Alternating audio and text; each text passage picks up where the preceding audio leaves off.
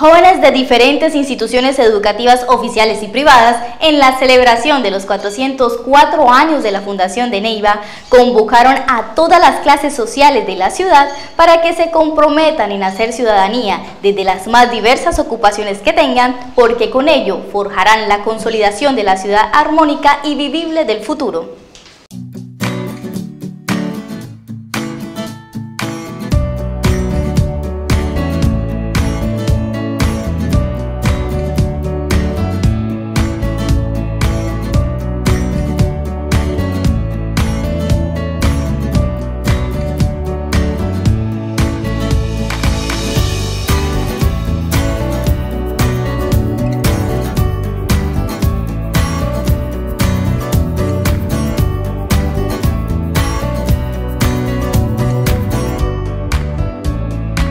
Desfile juvenil para festejar 404 años de la Fundación de Neiva, realizado el 24 de mayo, realmente registró una connotación y característica especial. No fue el monótono caminar de jóvenes uno tras otro que ningún tipo de mensaje mostraba, fuera de obstaculizar la movilidad, el tránsito de particulares, el tapenamiento voluntario de vía, o la simple presencia de personas sin argumento en la calle. Fue una presencia de jóvenes que evidenciaron, no por el uniforme, la asistencia a una institución educativa oficial y privada.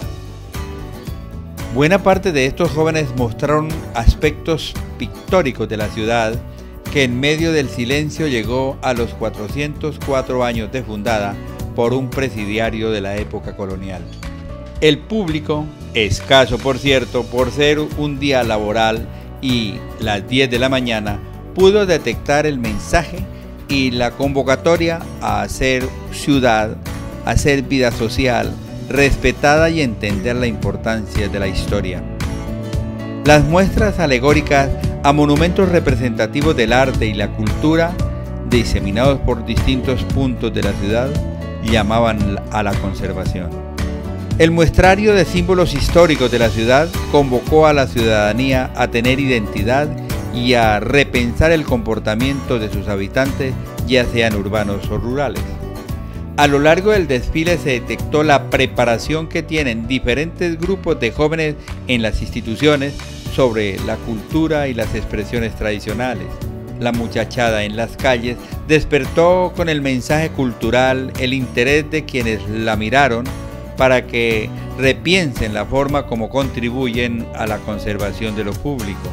Las voces juveniles no levantaban bochornosas expresiones de protesta sin causa y sin plantear solución, sino la convocatoria a mantener la concordia y la convivencia, aspectos muy interesantes. Este tipo de desfiles sí son interesantes porque son desfiles con un mensaje explícito de convivencia y una invitación a la conservación de lo tradicional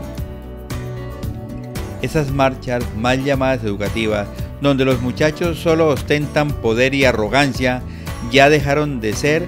porque pertenecen a la época de la colonia o la Inquisición o la dominación. De paso, es bueno decirlo, que la marcha juvenil del 24 de mayo fue uno de los hechos masivos más significativos de la celebración de los 404 años de la fundación de la ciudad. Esa importancia deriva del tipo de mensaje que mandaron los jóvenes, la elevada participación de instituciones educativas, el tipo de expresión que se llevó a la comunidad en la vida pública, pero sobre todo el encarnar una convocatoria para conservar una ciudad ordenada y respetuosa del pasado. La presencia de la fuerza pública no tuvo ningún tipo de atractivo porque solo mostró lo mismo, unos miembros detrás de otros, obedientes a una disciplina que de incumplirse se convierte en destitución. Este tipo de marchas, con hedor a tradición, con sabor a bueno, con visión de conservación, con invitación al respeto y con sentimiento de ciudadanía y sabor a paz y equidad, son las que deben proliferar en adelante.